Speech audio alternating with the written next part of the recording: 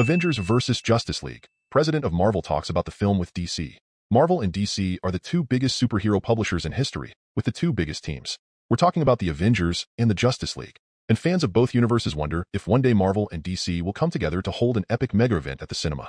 Previously, DC CEO James Gunn said he was in favor of the idea.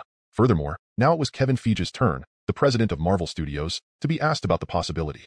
In an interview with Collider, Feige talked about what he thinks of an Avengers versus Justice League. I mean, I think about it occasionally like any fan would think about it. I don't know when the hell that would happen or how it would happen. But to say never, we would never be able to do that. We will never say never. But no, there are no plans at the moment. Finished Kevin.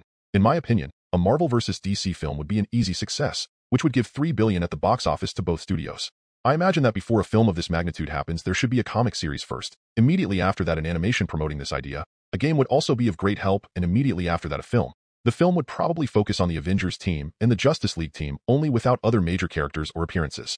I think it would be a good idea for the two teams to fight in each of their universes and then go to an abandoned universe and fight until the end of the film. But that's my opinion. Leave in the comments what you would like to see in a possible Avengers versus Justice League film.